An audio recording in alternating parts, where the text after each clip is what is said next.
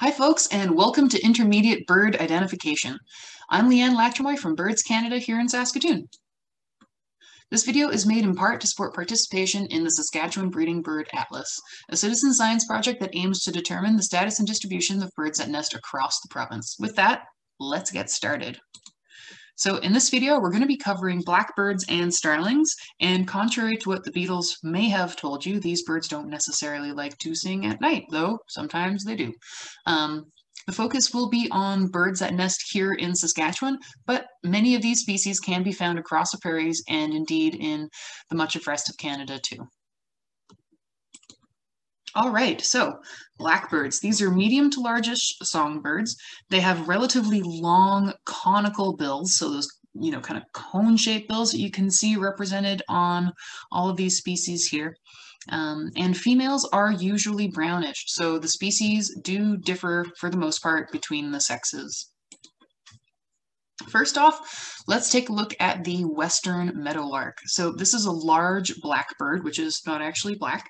Um, it's got a short tail and it's rather football shaped in flight. So as you see it going by, it kind of looks like a like a, if a football was um, cut in half lengthwise. It's that very even um, kind of tapered shape to it.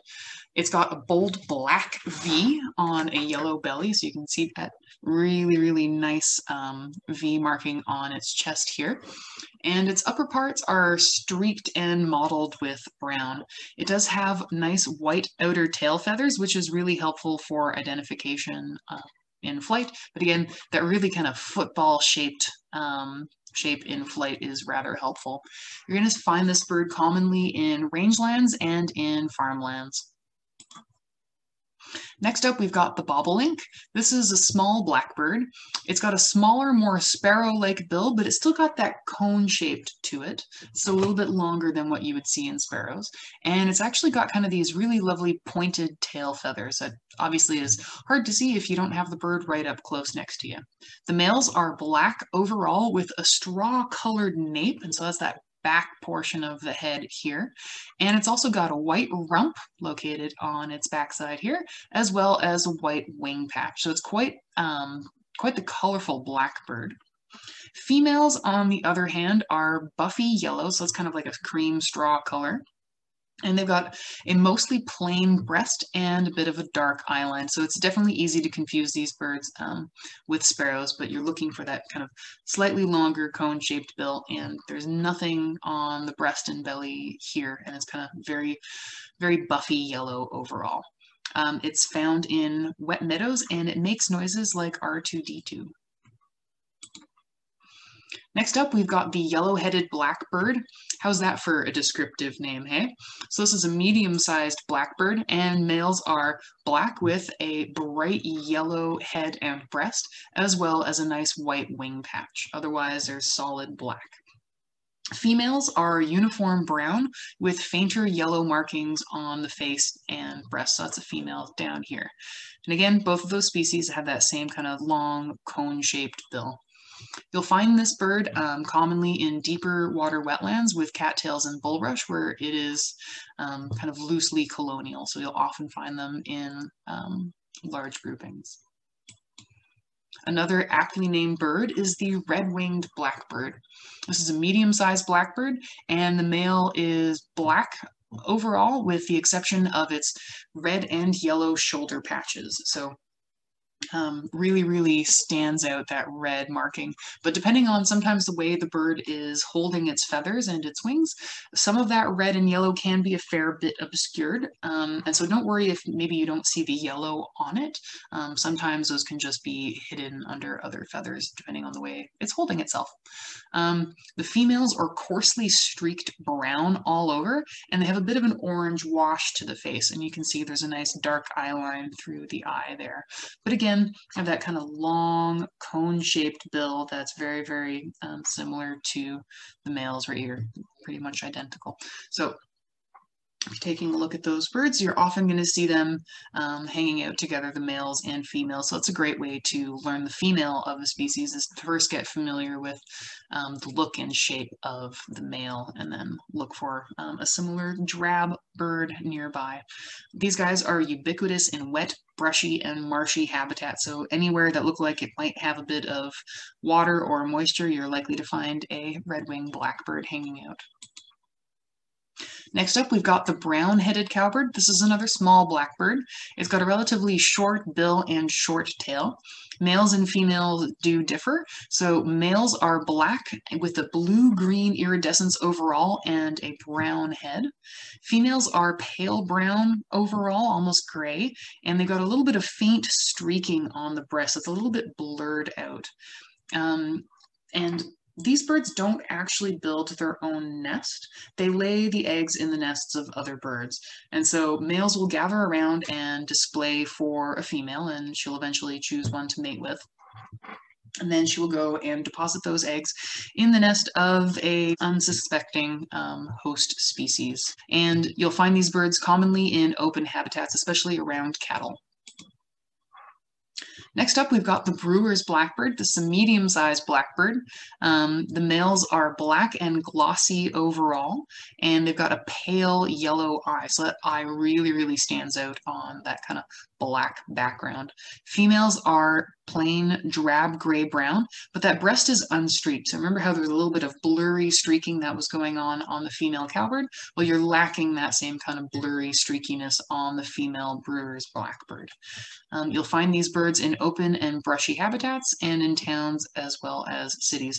So this is kind of a, you know, a finely portioned blackbird. It's very um, it's very, you know, delicate looking compared to the next species we're going to compare it to, which is the common grackle. This is a large blackbird. It's got a long, heavy bill. We're still in that realm of cone-shaped bills, but it, this one is much larger and heavier.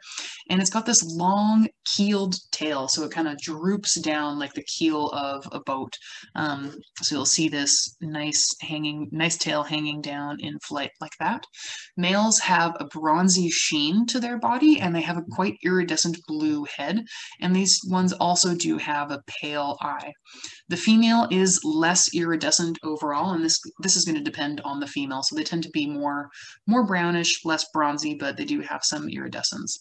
And you'll find these birds um, across much of the province in shelter belts, farmyards, and cities and forests as well. So comparing the two Brewer's Blackbird and Common Grackle side by side. So the Brewer's Blackbird is going to have a relatively short tail, and the common grackle is going to have that long, heavy, keeled tail that really droops and hangs down. It's much larger and droopier in the males, but the females do also have a long tail as well.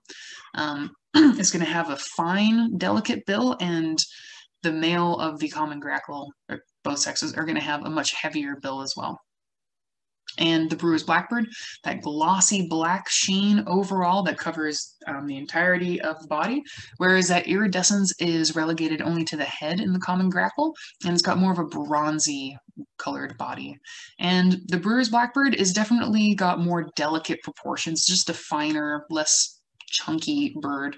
The common grackle definitely looks like a sturdy, rough and tumble bird.